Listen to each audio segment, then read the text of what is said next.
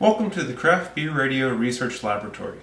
The other day I was on Twitter bitching about a frozen beer glass, and one of my followers, Barley69, uh, called me out saying it wasn't such a big deal. He doesn't like it, but it doesn't make a big difference on the serving time for the beer. And we both had the same idea at the same time. Let's have an experiment. Let's test it. So what we're going to do is I'm going to have three glasses, control glass here at room temperature, have a glass in the refrigerator, and a glass in the freezer. I have water here, which will be my beer analog for this test. And what we're going to do is we're going to pour water into three of the glasses, and I'm going to take samples every minute for the first 20 minutes, and then five minutes all the way up to an hour. And we're going to graph that and see how it corresponds to the recommended serving temperatures of, of the beers. First thing I want to test is what temperature beers are in my beer fridge downstairs. Because I had the water in the fridge for the last couple hours and it was still only 51 degrees. So I am curious what this beer, which I just pulled out of the fridge downstairs, I get the cap off, is. So let's drop this in there, give it a second. It's a quick read thermometer, should just take a few seconds. And my beer fridge keeps beers at 47.7 degrees. I had asked on Twitter, beer people, what temperature they keep their draft cellars at. And the answers I got back were from 36 to 42. So what I have right now is I have a pitcher of water at 39.2 degrees. I used some ice just to get it down to temperature so I could start. Give it a quick stir. We're at 38.8. So I'm going to take the ice out, get the glasses out, start the experiment. Alright, we're here with the three glasses. We have one at minus 3 Fahrenheit, one at 37 Fahrenheit, one at room temperature. Temperature I will have to get at a later time because I don't have a thermometer sitting room temperature right now. And this is the, the Libbey uh, 5139 standard mixing glass. It is uh, 413 grams. All three of them are the same temperature. The water is equalized at 39.2. So that'll be our start temperature. And I'm going to fill these all to the same point. And I'm going to start a timer here real fast.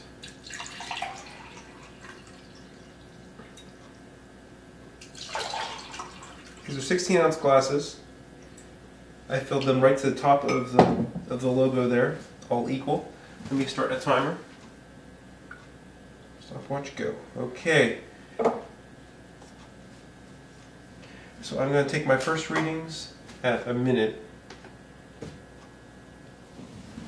Alright, it's going to be difficult to take readings every minute without three thermometers, one in each glass. So what I'm going to do is kind of do every two minutes.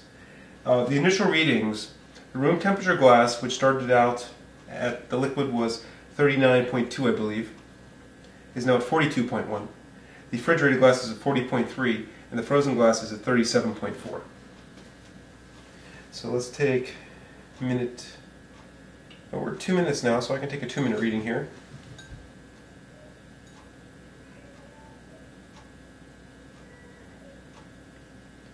Forty-two point eight.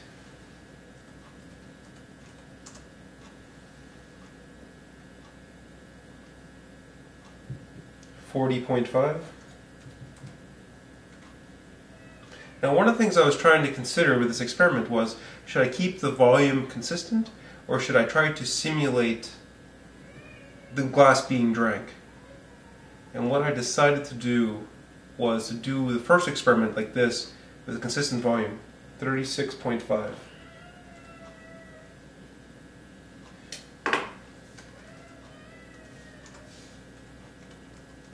I decided to do the run this first experiment at a consistent volume and maybe at a later point do a drinking, eh, removing volumes as if it was being drunk, and another experiment handling a glass like you would handle a glass when you were drinking it to add heat back into the glass that way.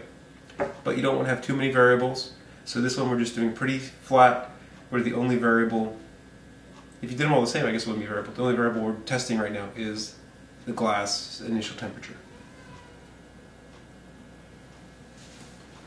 Alright, an hour has passed and I got the results. Let me go. Notice I have a, two beers here now. Might as well plug some beers. I was drinking the Wolaver's Alta Gracia Coffee Porter. Really good stuff. Uh, best thing I've had from Wolaver's.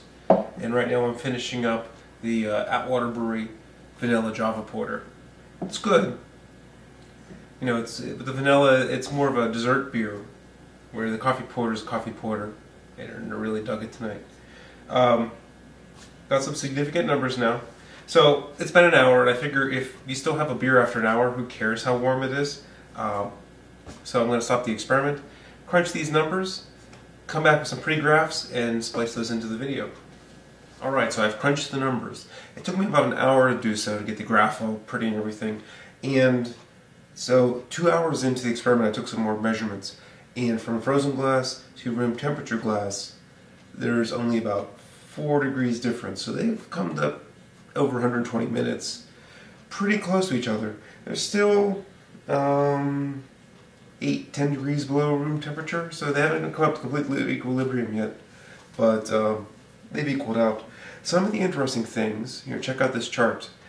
It took 34 minutes for the frozen glass to get to the same temperature that the room temperature glass was at at the first reading at um, 40 42.1 degrees at one minute for the room temperature glass. Took 35 minutes for the frozen glass to get there. Uh, 45 degrees is a pretty good sweet spot for a lot of beer styles. It's the high end for some lagers and kolsches and things like that. It's the low end for pale ales, IPAs, porters. So if you look at the chart, you notice that it takes almost 10 minutes for your room temperature glass to get up to the sweet spot for those beers, where it takes 45 minutes for the frozen glass to get up that far. And you'll notice that the the room temperature glass takes about 25, or the, the refrigerated glass takes about 25 minutes to get up to the sweet spot for many beers. Um, I will post the experiment details and the information online.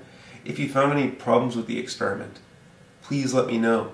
And like I said, we're probably going to do some other variations on this experiment in the future, removing volume from the glasses as if they were being drank and also reactions from handling the glass with warm human hands. Hope you enjoyed this first experiment from the Craft Beer Radio Research Labs. Wish I had a white lab coat and safety glasses to wear, but I didn't want to wear the glasses without the lab coat, so maybe next time. Thanks.